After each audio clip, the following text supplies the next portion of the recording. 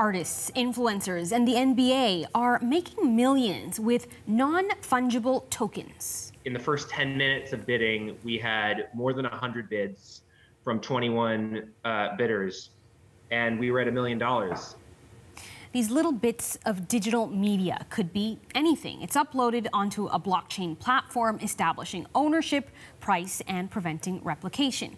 From there, it's permanently on the blockchain with unique digital properties. An NFT can be sold and collected.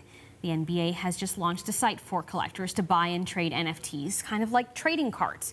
Recently, a 10 second video was auctioned for $6.6 million. Even the New York based Christie's has a non fungible token on the auction block. It's set to be the first NFT sold by a major auction house. Our tech contributor, Takara Small, is here to help us understand all of this. Takara, I gotta admit, I just read all that and I'm still a little bit lost. so help us understand. We know that this is like, it's a cryptocurrency like Bitcoin, but instead of money, it's attached to an item. So how do you buy one and what do you get?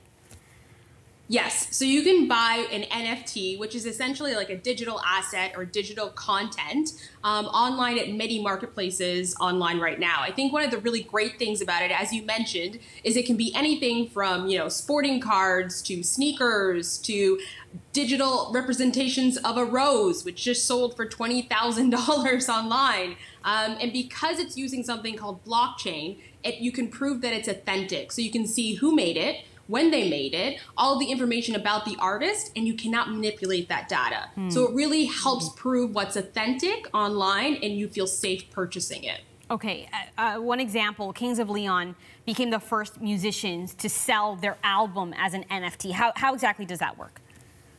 Yes. So it's really interesting artists who are going down this road. So pretty much you can sell, what they're doing is they're going to sell um, exclusive audio content online. One of the platforms, one of, is called um, OpenSea, which you can use. And what you'll do is you'll pay for it using cryptocurrency. Um, you can't use actual cash at this point, but you, for instance, Ethereum or Bitcoin, you can purchase it and it'll live on your computer. And then after that, if you want, you can sell it again or you can keep it forever and listen to it and enjoy all the perks that go along with that very exclusive piece of digital content. Right. So I read kind of a, a, an example was like it's like owning, you know, a Monet versus owning like a print of a Monet, right? Uh, this idea that you kind of own this digital piece of art, and it's not just music; it could be digital artwork, and people are mm-hmm. making millions off of of selling them. Um, mm-hmm. Why are they worth so much?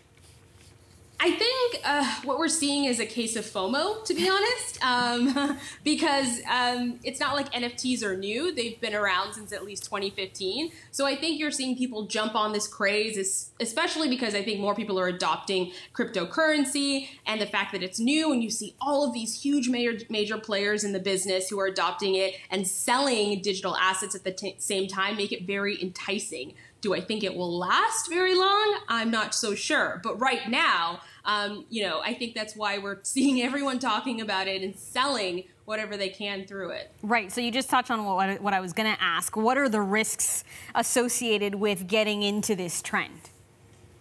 Yes. So one of the risks I would say is that people will purchase perhaps a piece of art online um, or a piece of a, digital piece of digital content, and they may assume that it will go up in value. And that's the same thing we've seen with Bitcoin. It's volatile, so there's no guarantee that if you buy it today, it will be worth more tomorrow. Um, and then, of course, some of the other risks I would say are environmental. I'm sure people, when they're purchasing digital assets, they don't think about the environmental cost, but it takes a lot of energy, and there is a huge carbon footprint to create, sell, and maintain these types of digital assets. So those are the risks involved environmentally and and personally and financially for individuals. Just really quickly before we run out of time, where do you see this going in the future? Do you see this being just a fad? It could be. I mean, everyone's saying this is the future, but they said that about Bitcoin, and I can't go to the grocery store today and purchase food with it. Um, I think we'll still see it in the long term, but whether we'll, we'll see mass adoption will really depend on how easy it is for people to buy and sell online. All right, spend wisely, folks. Takara Small is a technology journalist in Toronto and regular contributor here on Canada Tonight. Good to see you. Have a good weekend. Thanks.